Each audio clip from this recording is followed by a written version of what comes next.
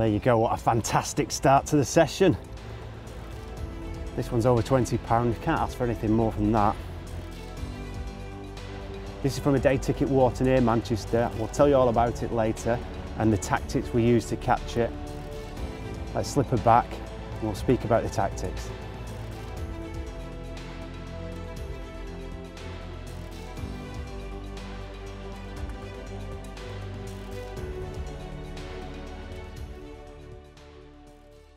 You've joined me today at Stakehill number five. It's one of GI Fisheries day ticket waters uh, in Middleton near Manchester, so it's a northern water. There's five lakes in possession running down this area that's known as Stakehill. This is number five, as I say. Now you can fish this on a day ticket, but you can also join as a syndicate, so you can night fish the waters. I haven't actually fished them before. I did, uh, did try and join last year, but with the lockdown you couldn't night fish, so I've had an opportunity to come up here uh, and try some tactics out.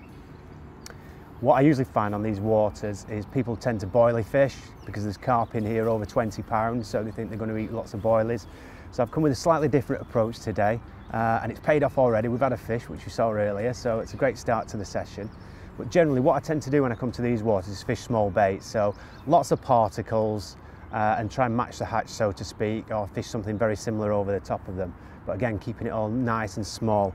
And what I've decided to use on, the, on this particular session is tiger nuts and maize. Now these little, these little grab packs are perfect for this, for day and short sessions. And all I've actually done is I've, I've used a crusher, I've ground a few up, using the whole maize. This, there's a few varieties of it, but this is chili and garlic and ananas. I think the, that garlic really plays a part in it. Uh, it is a proven car, carp attractor garlic, so you know don't stray away from it. What I've actually done with it is I've ground it up into little pieces like this, put it into mesh sticks and hook baits. I've chose two different hook baits. One's a pop-up, uh, fished over the top. Now I won't put a stick on that. It's a 360 rig with a little trim down uh, yellow pop-up, so yellow is matching the maize. That's the idea behind that little short booms. It's quite a clay hard bottom. here. I had a little lead about when I came. It's quite solid, so you don't need long hook links. Just fish it on a little helicopter, and that's critically balanced. It'll sit there nice and attractive over the mix.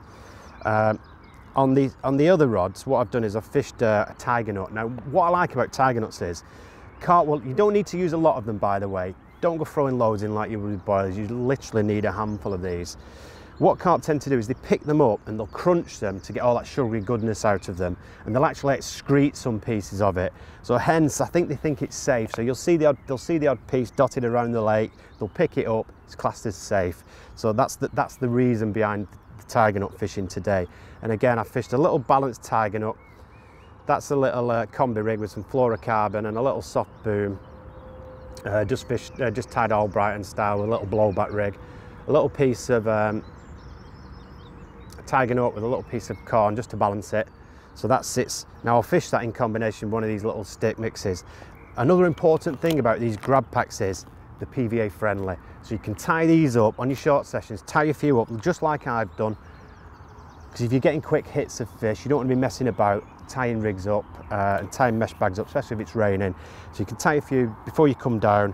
You don't need a lot of bait, grind a few up, uh, and that's your, that's your bait ready for the session. One thing I have done with these, just to give a little bit more attraction, is I've added a, a particle uh, and boilie booster. Now this is, this is the tiger nut flavour, and again, this is PVA friendly, so you can glug the bait in that. And again, it adds a little bit more aroma, some more attraction to the bait. Because what we're trying to do is boost the attraction with these. Maize and sweet corn isn't the most potent, you know, amino-rich protein foods. So just to add a little bit of added attraction, this amino-rich tiger nut liquid does the job for me. So yeah, two pretty simple rigs, the tiger nut, balanced tiger nut rig and the, the big hit pop-up rig, that's the coconut um, and maple cream uh, little pop-up rig. They're the rigs for the session today. If it changes, it's warming up again. We've suddenly got a bit of warm weather after all the freezing cold days and nights. Um, we'll set a floater rod up and see if we can nick one on that maybe later. I'll catch you later and we'll see how the session goes.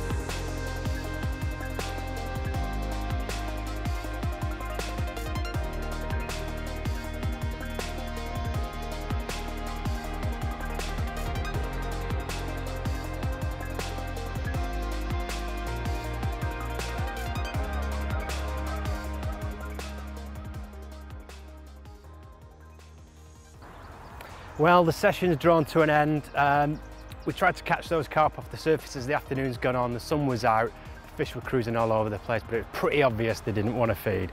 We've had baits right in front of the noses. I've even had one carry the bait on its back, which we caught on video, which is quite hilarious, which I'm sure Matt will probably put up. But um, yeah, I can't complain. We've had a great session today. We've caught a fish over 20 pound this morning on the tactics that we talked about. So if you want to have, have a go at this place, Stakehill number five, it's on the GI Fisheries card. See them on social media, on Facebook and what have you. They've loads of lakes, loads of fish in them all. Plenty of carp over 20, pushing 30 pound in plenty of the other lakes. So yeah, been a wonderful little session. Hope to see you all again. Catch you next time.